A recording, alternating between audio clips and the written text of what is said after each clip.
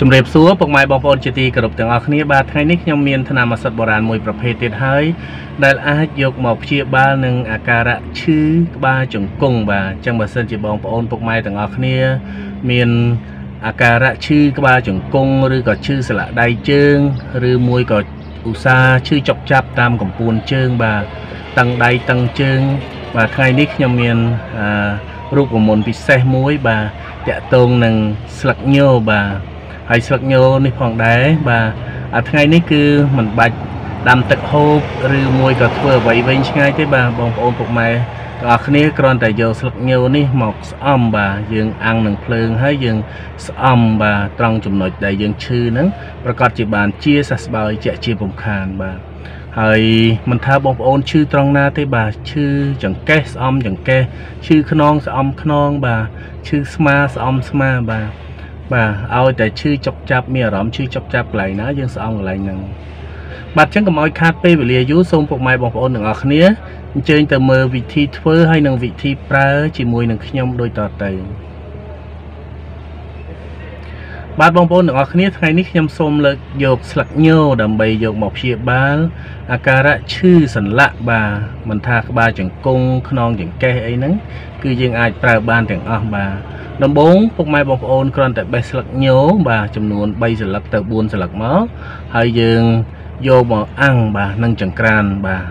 ឬមួយក៏រងើកភ្លើងដែលអាសល់រងើកហ្នឹងបងប្អូនបាទធ្វើដូចក្នុងរូបភាពបាទដែលខ្ញុំបានបង្ហាញហ្នឹង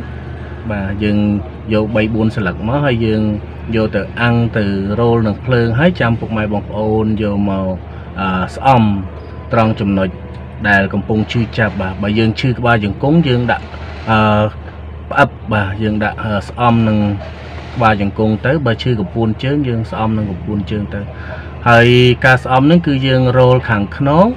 យើងបាទយើងយកមករុំខាងពោះវា មានន័យថាបើយើងដាក់កន្លែងយើងអាំងភ្លើងហ្នឹងវាក្តៅខ្លាំងអញ្ចឹងយើងដាក់ខាងពោះវិញមកដើម្បីកុំឲ្យក្តៅខ្លាំងបាទបាទអញ្ចឹងយើងស្អំយើង រយៈពេល1នាទី2នាទីទៅមើលតាស្លឹកញោនឹងរៀងត្រជាក់វិញហើយចាំពុកម៉ែបងប្អូនយកទៅអាំងម្ដងទៀតបាទបាទអញ្ចឹងយើងធ្វើ3 4ដងទៅលុះត្រាតាពុកម៉ែបងប្អូនបានរៀងធូរបន្តិចហើយចាំយើងឈប់បាទអញ្ចឹងមួយថ្ងៃយើងអាចធ្វើម្ដងក៏បានពីរដងក៏បានដែរបាទឲ្យតែមានពេលយើងធ្វើបានគ្រប់ពេលវេលាបាទ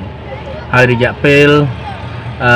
ធ្វើហ្នឹងគឺយើងយើងធ្វើឲ្យបានយ៉ាងហោចណាស់ក៏3ថ្ងៃទៅ5ថ្ងៃដែរអញ្ចឹងអាការៈធ្លាប់តែឈឺចុកចាប់ដើរមិនចង់រួចបាទ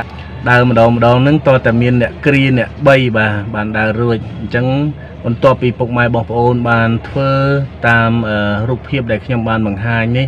រយៈពេល3ថ្ងៃទៅ5ថ្ងៃប្រកាសជាបានជាសះស្បើយជាជាពំខានបាទបាទចឹងឃើញថាអត្ថប្រយោជន៍របស់ស្លឹកញោនេះបាទមិនធម្មតាទេបាទមិនថាផ្លែមិនថាស្លឹកមិនថាដើមបាទសិតសឹងតែមានប្រយោជន៍ទាំងអស់បាទ